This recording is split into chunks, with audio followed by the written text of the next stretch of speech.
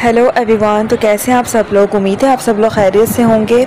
आज मैं आपके लिए लेकर आई हूँ बहुत ही खूबसूरत फ्रॉक स्टाइल मैक्सीज़ के डिज़ाइन लॉन्ग मैक्सी है फ्रॉक स्टाइल में है, बहुत ही खूबसूरत है डिफरेंट डिफरेंट कलर्स हैं। यहाँ से आपको बहुत सारे आइडियाज़ मिल जाएँगे डिफरेंट डिज़ाइनिंग हुई हुई है इन पर।